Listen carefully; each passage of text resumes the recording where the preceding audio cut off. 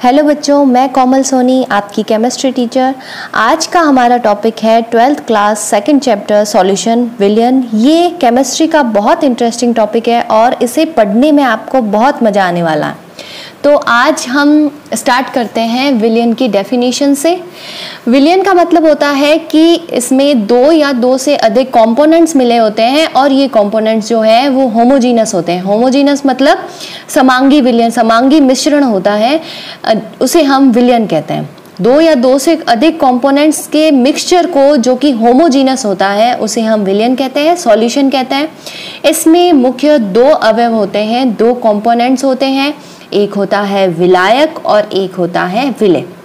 विलायक, जिसे हम सॉल्वेंट भी बोलते हैं, और विलय, जिसे सॉल्यूट बोलते हैं। सॉल्वेंट एंड सॉल्यूट सॉल्वेंट वो होता है जिस, जो कि अधिक मात्रा में, ज़्यादा मात्रा में उपस्थित होता है किसी विलयन में, उसे हम सॉल्वेंट कहते हैं, और जो कम मात्रा में उपस्थित होता है, उसे सॉल्यूट कहते हैं। सॉल्वेंट जो होता है, वो विलयन की भौतिक अवस्था निर्धारित करता है कि वो ठोस में होगा, कि द्रव में होगा या गैसियस स्टेट में होगा। वो उसको निर्धारित करता है यानी कि ये अधिक मात्रा में है। अब मैं आपको एक एग्ज़ाम्पल बताती हूँ इसके लिए।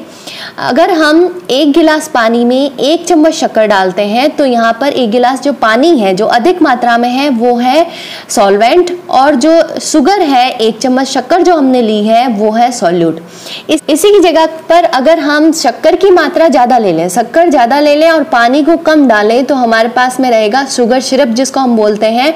वहाँ पर सॉल्वेंट शक्कर होगी और सॉल्यूट जो है वो पानी होगा। यानी कि पानी की कम मात्रा है और शक्कर की ज़्यादा मात्रा जिसकी मात्रा ज़्यादा होती है, उसे हम सॉल्वेंट बोलेंगे और जिसकी कम मात्रा होती है, उसे हम सॉल्यूट बोलेंगे। तो भौतिक अवस्था के आधार पर विलियन जो है, वो कई प्रकार के हो सकते हैं। यानी कि वो गैसेस स्टेट में हो सकते हैं सॉलिड स्टेट में हो सकते हैं या लिक्विड स्टेट में हो सकते हैं।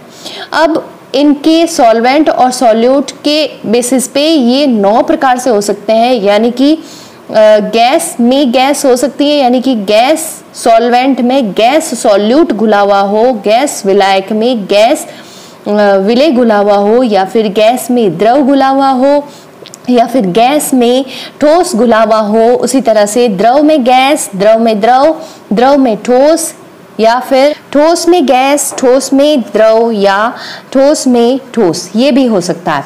इसी तरह से नौ तरह के हमारे पास में सॉल्यूशन हो सकते हैं। नौ तरह से सॉल्यूशन के एग्जाम्पल्स क्या हैं, उनको भी हम देख लेते हैं। गैस में गैस का एग्ज़ाम्पल होता है ऑक्सीजन एंड नाइट्रोजन का मिक्सचर हवा जो होती है, वो गैस में गैस का एग्ज़ाम्पल होता है। यानी कि सॉल्वेंट इसमें गैस होती है और सॉल्यूट भी इसमें गैस होती है तो ये है हवा या फिर ऑक्सीजन नाइट्रोजन का जो मिक्सचर है, या फिर दो गैसेज आपस में मिक्स होने वाली जो गैसेज है होमोजेनस मिक्सचर अगर बनाती हैं तो ये गैस में गैस का एग्ज़ाम्पल है। यहाँ पर गैस में द्रव का एग्ज़ाम्पल है, बादल या क्लोरोफॉर्म तथा नाइट्रोजन का मिक्सचर क्लोरोफॉर्म यहाँ पर लिक्विड है और नाइट्रोजन यहाँ पर गैस है. नाइट्रोजन गैस में जब क्लोरोफॉर्म घुली हुई है तो वो लिक्विड इन गैस का एग्ज़ाम्पल है. तीसरा है solid in gas solid in gas Kapoor जो होता है, जैसे कि आपको पता है, कपूर में सब्लिपेशन होता है। सब्लिमेशन का मतलब ये डायरेक्ट ठोस से गैस में चेंज हो जाता है।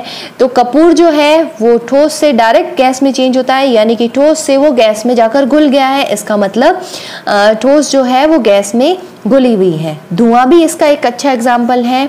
जो रेत के कण होते हैं या फिर जो कार्बन के कण होते हैं, वो हवा में घुले हुए होते हैं, एयर में घुले हुए होते हैं तो ठोस गैस में घुली हुई है। आंधी इसका एक अच्छा एग्ज़ाम्पल है।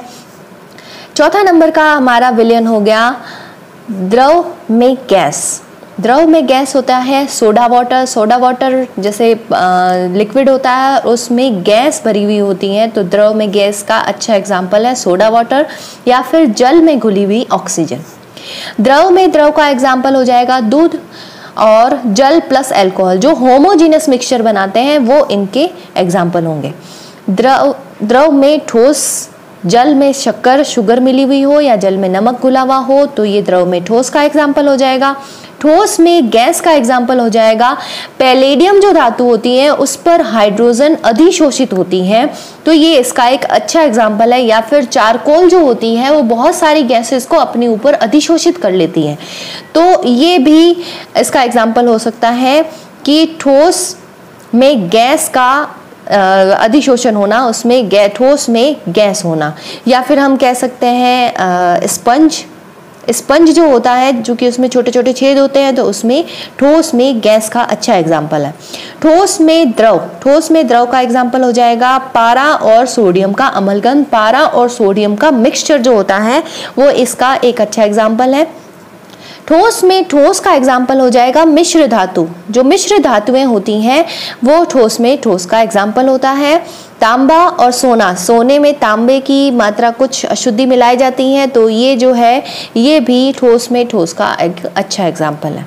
अब हम ये देखते हैं कि होमोजीनस मिक्सचर है हेट्रोजीनस मिक्सचर क्या? होमोजीनस मिक्सचर जैसे नमक जल में घुला हुआ है यानी जल शक्कर जल में घुली हुई है तो ये होमोजीनस मिक्सचर बनते हैं, यानी कि हम इसको मिक्सचर बनने के बाद उसको आसानी से अलग नहीं कर सकते। लेकिन हेट्रोजीनस मिक्सचर जो होती है, जैसे रेत जल में घुली हुई, अगर हम उसको रख देंगे तो रेत नीचे बैठ जाएगी और जल ऊपर रह जाएगा तो इसको हम आसानी से अलग अलग कर सकते हैं। जो होमोजीनस मिक्सचर होते हैं, इनमें कंपोनेंट्स को अलग अलग नहीं किया जा सकता है, लेकिन हिट्रोजीनस में कंपोनेंट्स को अलग अलग किया जा सकता है। और एक और इसका एग्ज़ाम्पल है कार्बन तथा सल्फ़र अगर आपको मेरे वीडियोस पसंद आते हैं तो मेरे चैनल को सब्सक्राइब कीजिए और मेरी वीडियोस को लाइक एंड शेयर कीजिए। Thank you